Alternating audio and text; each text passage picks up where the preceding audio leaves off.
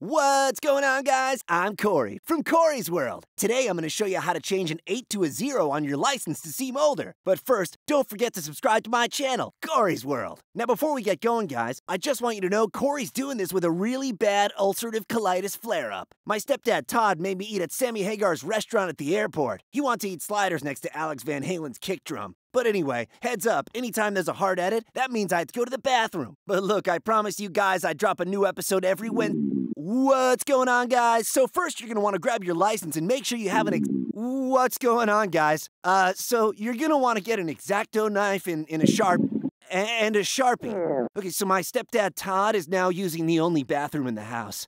Did I say an exacto knife yet? What's going on? What? What's going on? What? Todd!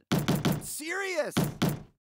What's going on, guys? I hate to leave you hanging, but there's a lot of dark blood. I think that's probably not good. Don't forget to subscribe to my channel, Corey's World. I'll be back to posting more regularly because my stepdad Todd goes back to work on the oil rig next week.